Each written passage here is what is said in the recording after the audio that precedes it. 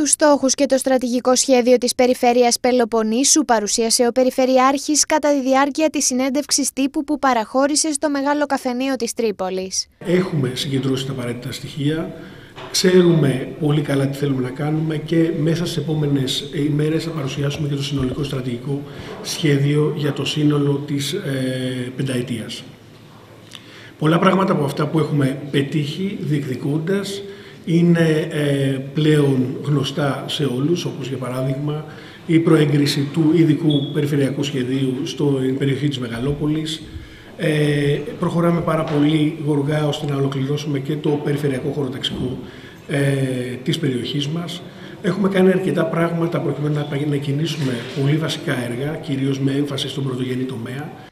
Ο Περιφερειάρχης ανέφερε ότι από την ανάληψη των καθηκόντων του μέχρι και σήμερα συγκέντρωσε με τους συνεργάτες του όλα τα απαραίτητα στοιχεία για την περιφέρεια Πελοποννήσου, το που πλεονεκτεί και που βρίσκεται πίσω.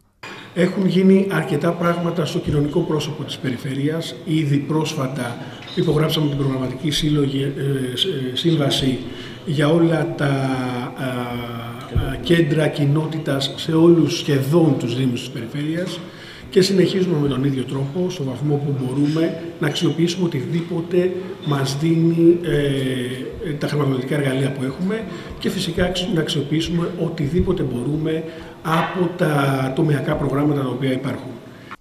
Στόχος η Πελοπόννησος να γίνει πρότυπο για την προσέλκυση επενδύσεων αλλά και για το περιβάλλον, τις υποδομές και την εξυπηρέτηση του πολίτη.